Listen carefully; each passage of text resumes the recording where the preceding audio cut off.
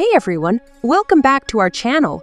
Today, we're delving into Regina King's heartfelt revelation about her son Ian's passing over two years ago. In a candid interview with Robin Roberts for Good Morning America, the Academy Award winner opened up about her grief, acceptance, and honoring her son's memory. Let's dive into the details. It's important to me to honor Ian in the totality of, of who he is, speak about him in the present, because he is always with me. Regina King is breaking her silence about her son Ian's death over two years ago, speaking with Robin Roberts for Good Morning America. Academy Award winner spoke about how the last two years have been for her following her only child's passing when he died by suicide in 2022. I'm, I'm a different person, you know, uh, now than I was. Um, January 19th grief is, is, is a journey.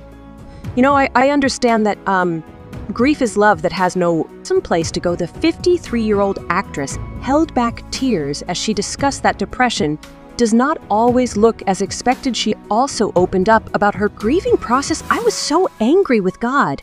You know that why would why would that weight be given to Ian? You know of all of the things that we had gone through with the therapy psych psych with psychiatrists and programs and and he just Ian was like, I'm tired of talking mom, though Regina says she respects and understands her late son's choice, the Good Morning America.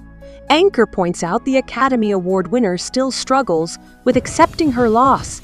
Sometimes you know it's a lot of guilt, um comes over me.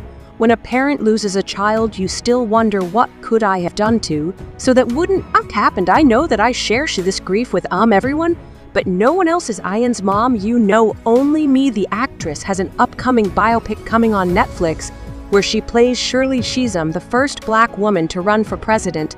The film, she says, is dedicated to music,